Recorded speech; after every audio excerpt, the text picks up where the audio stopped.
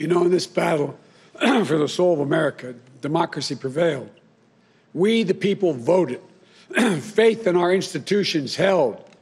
In America, politicians don't take power, people grant power to them.